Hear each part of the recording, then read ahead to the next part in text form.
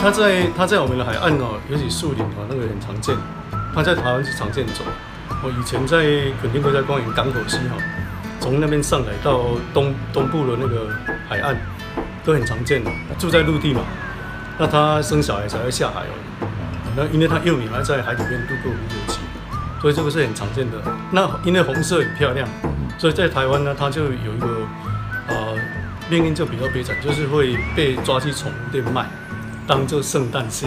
甚至卖到国外哦，那个那个国外哈，新加坡到到欧洲去，有人都把它卖到那边去哦，这都叫做圣诞蟹，所以数量呃真的差很多了。它没有毒，没有啊，要要吃的话没有问题，只是说不好吃了。